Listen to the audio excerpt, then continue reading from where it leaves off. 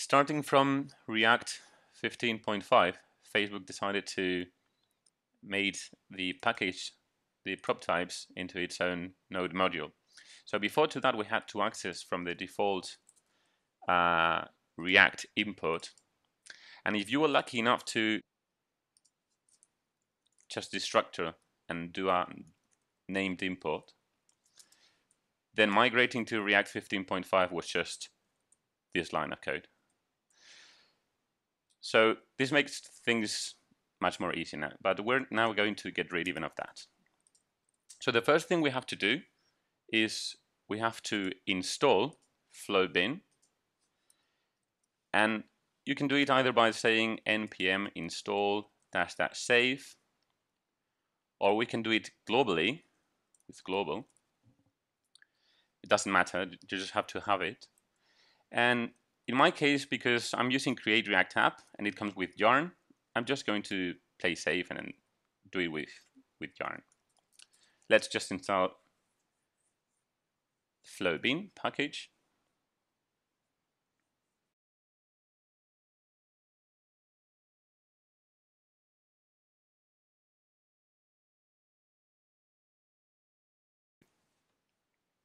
And now that it's done, I'm going to go to my package.json and add one script,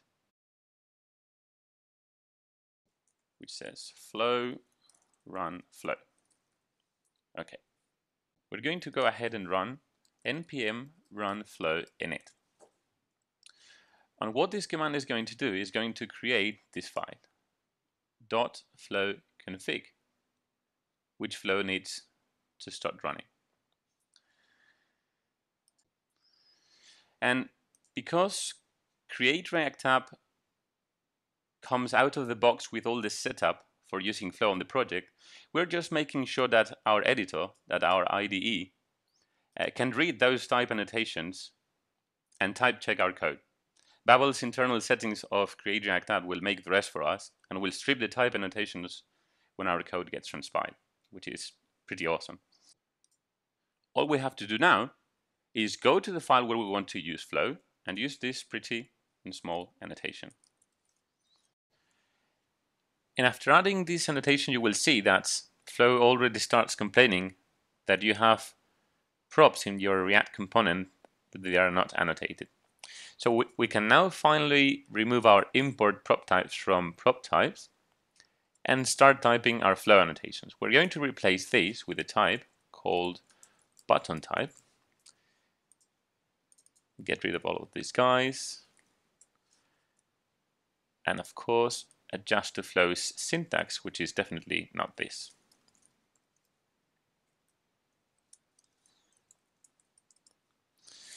One note here, bool becomes boolean. If not, it will be turned into any, and we definitely don't want that. And now we can use our button type in our React component. And now everything is tight. And this doesn't work because we have to be more explicit with flow.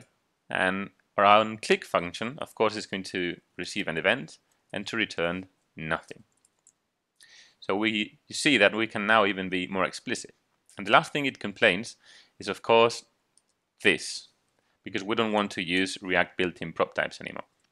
So now we save, we get rid of all the errors